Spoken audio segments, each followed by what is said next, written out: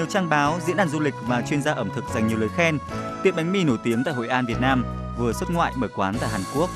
Bánh mì Việt trên đất Hàn thì không hề hiếm. Là người đến sau thì cách gây chú ý không gì ấn tượng hơn là mang cả phố hội sang Seoul. Với tông màu vàng, mái ngói, sàn lát gạch bông, những chiếc đài cassette, đèn dầu mang đậm vẻ Hội An cổ kính. Concept này ngay lập tức tạo nên điểm khác biệt giữa kiến trúc đô thị Seoul. Câu chuyện mình mình đặt ra là bọn mình không chỉ mang bánh mì Phượng sang đến Hàn Quốc mà bọn mình còn đưa cả một cái văn hóa ẩm thực Việt và ở đây đó chính là nét của Hội An, một cái nét màu vàng của gạch ngói hay là những ảnh thương dương nhất Hội An để tái hiện được một một thương hiệu bánh mì trong một không gian thực sự Hội An ở Hàn Quốc. Concept trong thiết kế không gian nhà hàng chính là màu sắc, không gian, là ý đồ xuyên suốt mà chủ nhân của nhà hàng muốn gửi gắm. Chưa biết doanh thu sẽ như thế nào, nhưng thông qua concept Hội An trong lòng phố Hàn thì tiệm bánh mì này đã ngay lập tức tạo nên sự chú ý đối với thực khách Hàn Quốc. Chính xác hơn là thể hiện thông điệp Việt Nam rõ nét khi ra mắt tại nước ngoài. Cái màu vàng của Hội An là cái đầu tiên đã thu hút chính cái thị giác của những người bạn Hàn Quốc ở bên đó. Sau đó khi đến gần hơn thì những yếu tố chi tiết như xích lô, nón lá hay những cái dàn hoa giấy đặc, đặc, à, những đặc điểm đặc trưng của Hội An là những đặc điểm mà những người bạn Hàn Quốc sẽ nhìn thấy sâu sắc hơn.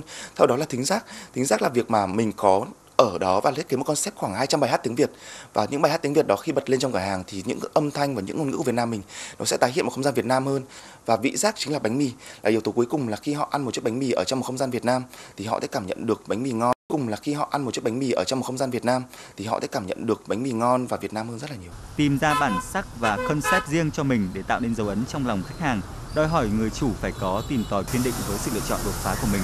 Dù khi khởi đầu, nhiều concept bị cho là gan dở. Thì là khi mà mình lên cái ý tưởng này ấy, chưa thành một mô hình ấy, thì dĩ nhiên là người, những cái người mà người ta được uh, nghe ấy, người được người nói ấy, hoặc là được nhìn trên à, văn bản giấy tờ ấy, thì người ta đánh giá là một ý tưởng điên rồ.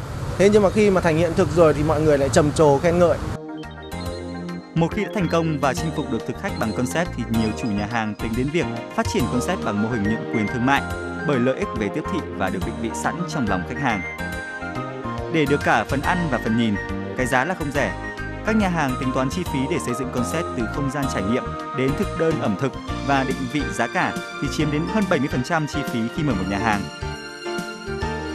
Vì thị hiếu là thứ luôn thay đổi, concept cũng cần thay đổi để thích ứng với thị hiếu và lúc đó thì thử thách của người chủ là làm sao giữ được cái chất, cái điên rồ ngay từ đầu của chính mình.